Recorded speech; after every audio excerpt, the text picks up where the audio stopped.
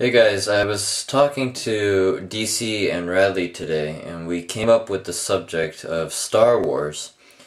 And uh, one thing about Star Wars that has a similarity with me, I guess you could say, is the actor Luke, the actor who played Luke Skywalker, uh, Mark Hamill, is the alumni of my school in Japan.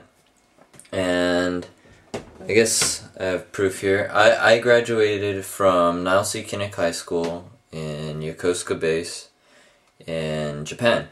And that's. Where is it? It says somewhere there. Kinnick. Kinnick High School.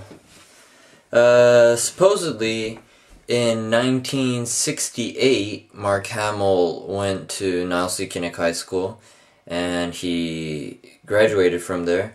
And I received, uh, they have this award every year for the Performing Artist of the Year.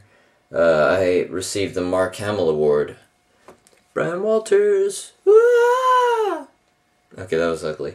And, uh, yeah, so Mark Hamill went to, he graduated from an American school in Japan. I don't know if many of you know that, but, um, so, Nile C. Kinnick High School, Yokosuka Navy Base, Yokosuka, Japan. And, uh, in recognition of your dedication to excellence in performing arts.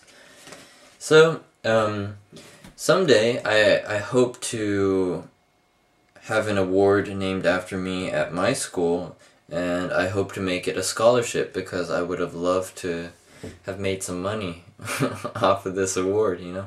There's uh, there's something you learn every day. Today you learned that Mark Hamill, uh, Luke Skywalker from the Star Wars trilogy, graduated from uh, high school in Japan. Luke, I am your father.